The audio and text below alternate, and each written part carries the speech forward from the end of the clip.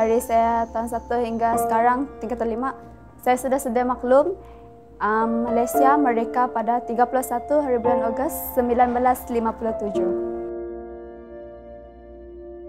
I feel guilty as a teacher because all this while we have not informed the students, we have not taught the students about the 2nd of July. So if all this while it is all about 31st of August, all about 16th of September, definitely the history itself about the Sarawak independence should be written in the textbook.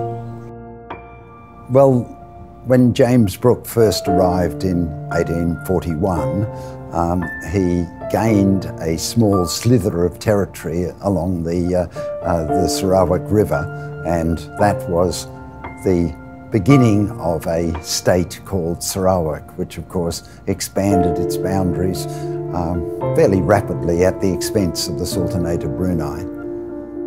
Saya adalah tahu sedikit, tak banyak, tidak banyak yang saya tahu.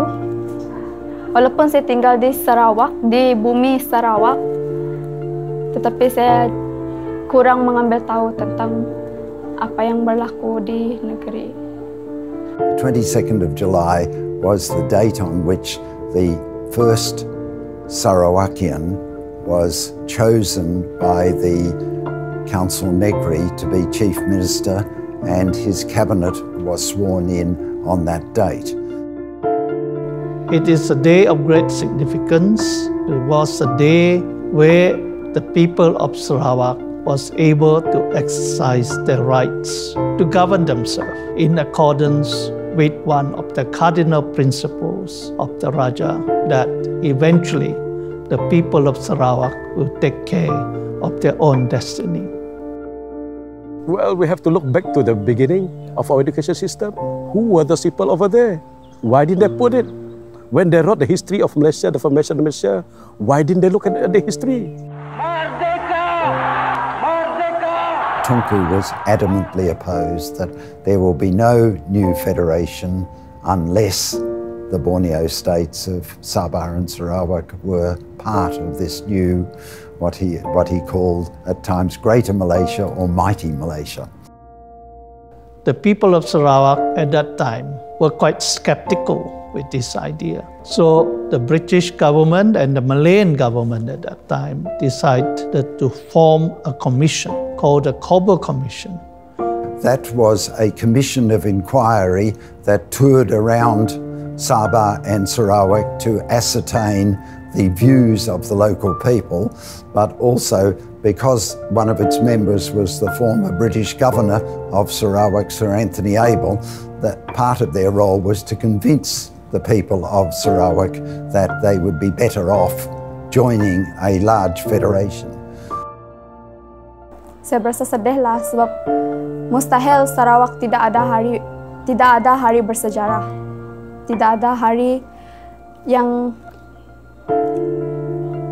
bersejarah lah untuk kenapa Sarawak tidak ada mempunyai sejarah yang sepatutnya diketahui oleh pelajar-pelajar generasi seperti kami.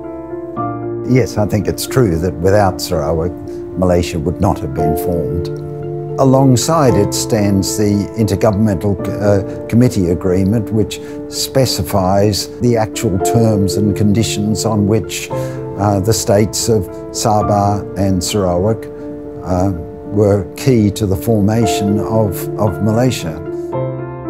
People of Sarawak wanted special safeguards to their rights before they agreed to the formation of Malaysia. And there was an assurance given by the then Deputy Prime Minister of Malaya, Tun Abdul Razak Hussein, that state of Sarawak and the state of North Borneo and Singapore, when they join the federation, will be treated as partners.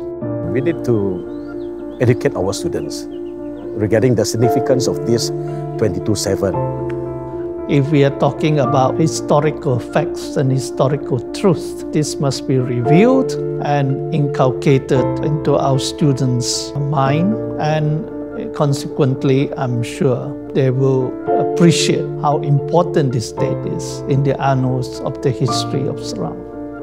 And then the rest of the what has been mentioned in our agreement in the when we form Malaysia, that one we have to look at. Otherwise, uh, we lose all those things. Then we cannot talk about MS63. What are the special privileges and interests of the state that must be safeguarded, and how this could be safeguarded?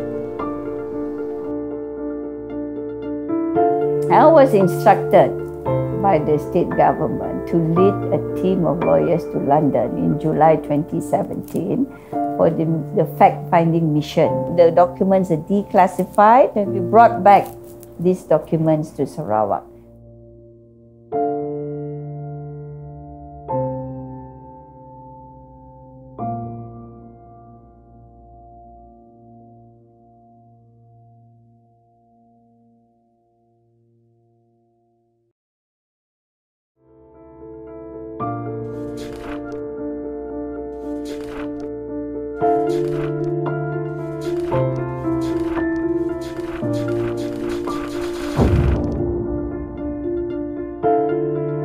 Jadi kita bukan hanya satu negeri, Ya. kita adalah satu wilayah di mana Malaysia telah ditubuhkan kerana perjanjian di antara Sarawak, North Borneo pada masa itu, Sabah, uh, Singapura dan Malaya, kerana nama semenanjung. Barulah ada Malaysia.